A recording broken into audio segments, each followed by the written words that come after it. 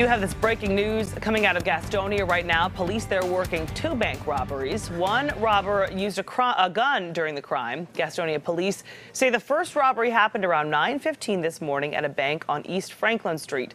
The second robbery, an armed robbery, happened around 10:35 on Union Road.